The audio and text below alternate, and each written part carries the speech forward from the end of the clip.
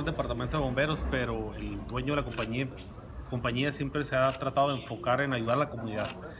Apoya a otras instituciones aquí en la ciudad y en esta ocasión pues me habló el que viene siendo mi jefe, que también trabaja para él y me dice, oye, ¿a quién podemos apoyar? Eh, pues pensando y viendo las necesidades principalmente, no casi siempre se le apoya Cruz Roja. En este caso dije yo, pues bueno, al departamento de bomberos, ya que ellos también nos echan la mano porque tenemos brigadas contra incendio y hacemos algunas prácticas y pues siempre nos han apoyado, entonces pensé en, pues corresponder ese, esa ayuda. Eh, es un equipo pues que nos hacía mucha falta, que viene a reforzar eh, parte del equipo que teníamos, eran necesidades que, que teníamos desde hace rato ¿no? y que vienen a reforzar, como te, repito, el, equipo, las herramientas y esto se traduce pues en, eficiencia ¿no? a la hora de atender las emergencias. Es un equipo que definitivamente va a ayudar a salvar muchas vidas y hacer mejor. Tractor portátil eh, que sirve para poder extraer cualquier líquido, fluido, ya sea vómito, ya sea sangre, de los pacientes que, de trauma en la ambulancia hay equipos de esto, pero son fijos, entonces cuando las personas están dentro de los vehículos, están en la carretera eh, con, problemas porque estén atragantando con la misma sangre, este aparato nos sirve para poder extraer los fluidos como la sangre y todo aquello que esté fluyendo. Es recargable, el paramédico o el bombero puede bajar a la carretera, llevárselo y poder asegurar la vía aérea.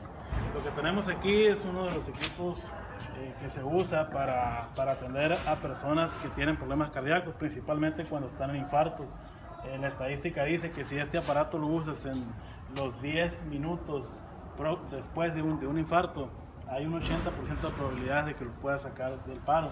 Es un equipo que no teníamos, que nos urgía mucho y definitivamente con este vamos a, dar mejor atención a los pacientes que presenten problemas cardíacos. Eh, tenemos glucómetros, tenemos oxímetros, tenemos eh, cánulas para asegurar la vía aérea cuando las personas quedan inconscientes. Eh, la lengua empieza a obstruir la vía aérea y es un equipo que nos sirve para despejar la vía aérea.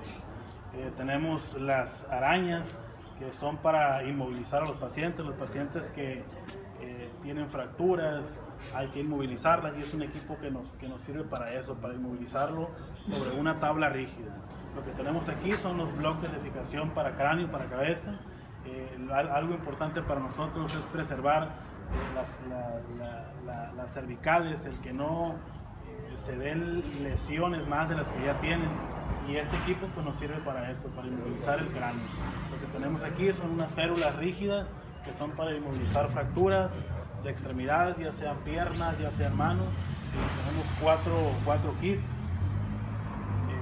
es lo que más usamos, nos hacía mucha falta. Tenemos dos maletas de trauma 3 perfectamente equipadas que van a ser asignadas una a cada ambulancia. Eh, en cuanto a equipo de, bomberos, pues tenemos una, una, Y donde se conectan las mangueras de 2 pulgadas a 2 y media, 1 y media.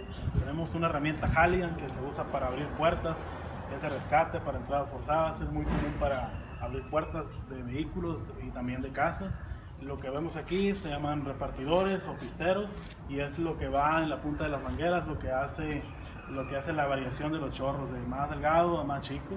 Y las camillas de aquí están, son unas camillas de muy buena calidad, son translúcidas y son el complemento de todo esto para inmovilizar un paciente.